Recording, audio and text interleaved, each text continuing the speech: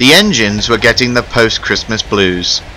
The Fat Controller decided to cheer them up. He called his engines to the big station. I've arranged a special party to welcome the new year. We shall see the new year with a grand celebration, he announced.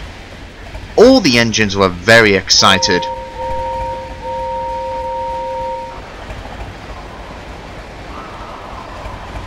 Except for Donald and Douglas.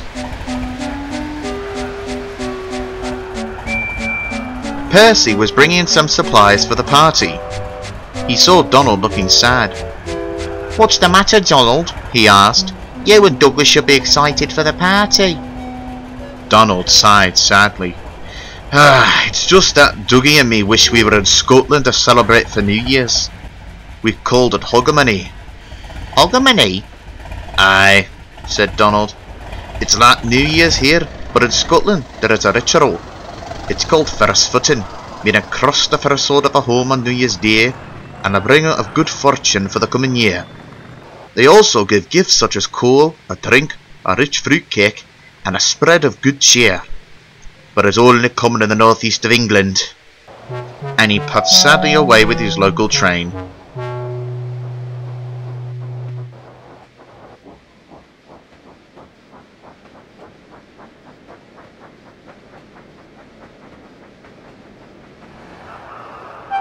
Percy felt sorry for Donald.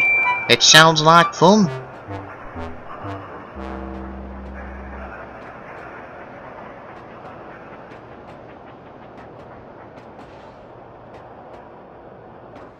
Later that day, a shipment is needed to be taken to Vicarstown. It was very long, so it needed two engines.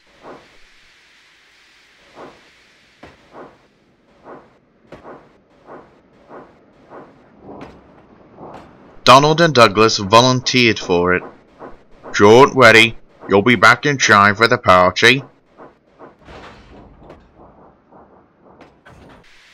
We didn't mind if we're late for the party, sighed Donald. It's not that Hogmanay, grumbled Douglas, and they puffed gloomily away.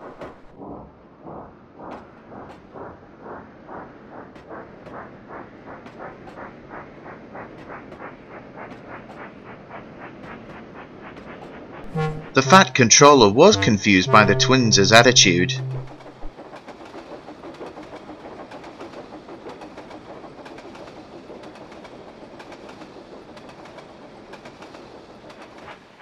Percy, who was shunting nearby, noticed it and began telling the Fat Controller about Donald, Douglas, and the Hogmanay celebrations. No wonder they look gloomy. We'll soon change that. After their usual work, James and Percy were sent on important jobs.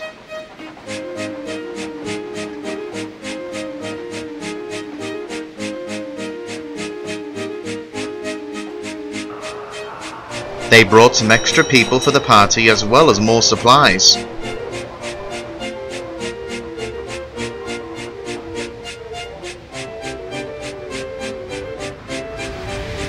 Then as they were set up, they were waiting for Donald and Douglas to return. When the twins returned to the big station, they overheard Scottish bagpipes. Then they pulled up outside of the station and saw dancers in kilts doing reels and sword dancing. Staff and passengers cheered and clapped. The twins were delighted. It feels like being back at home again, they said in unison. At last the clock struck at midnight and the new bell was ringing in the new year. Soon everyone was singing Auld Lang Syne.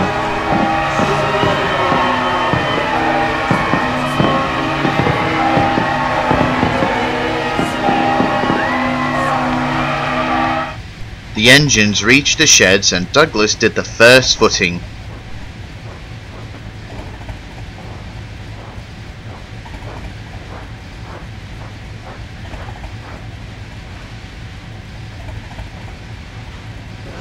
Everyone had their gifts, and they all sang Auld Lang Syne once again.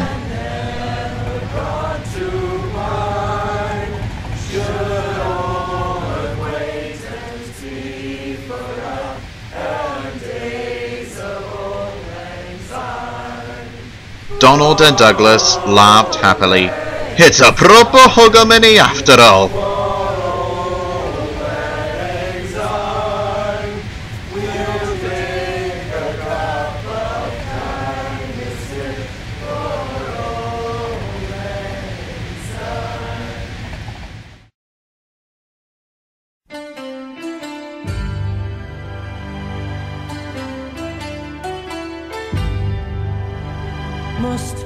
Wait another year for the celebration, dear? If we do, we'll hold it here. Same time next year. I'll be here the same as ever, maybe wearing something else. Ah, but nothing changes.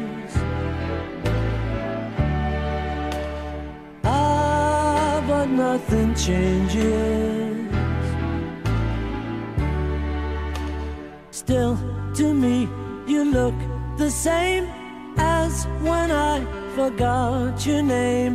Lovers in a lover's game. Same time next year. I'll be here the same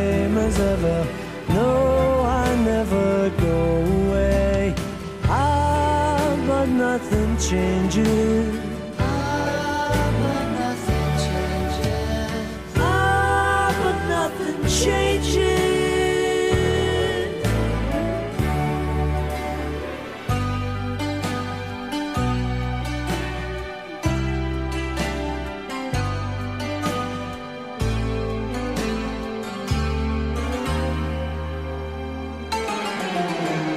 Same